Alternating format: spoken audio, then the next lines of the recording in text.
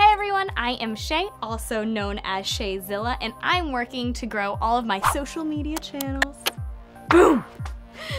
I've been asked to share my take on this content and how it relates back to me and what I'm going through on my journey.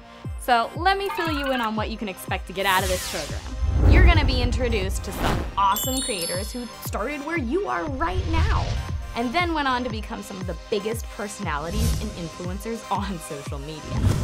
Learn how the industry works, what makes content shareable, and what it takes to be successful in the social media world. So what are you waiting for? Seriously. Let's start on this creator journey right now. Right now.